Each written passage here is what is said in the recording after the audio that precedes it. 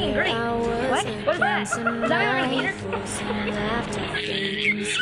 Honestly, like so many people say that they're her biggest fan, but I really am. She's a lovely girl and she's very sweet. You're a role model. And I'm just so, so unbelievably thankful to the fans. All I can say is it was enchanting to meet you. And Taylor Swift, wherever you are. She's very happy right now. Honestly, if you have to pick one priority, it's the fans.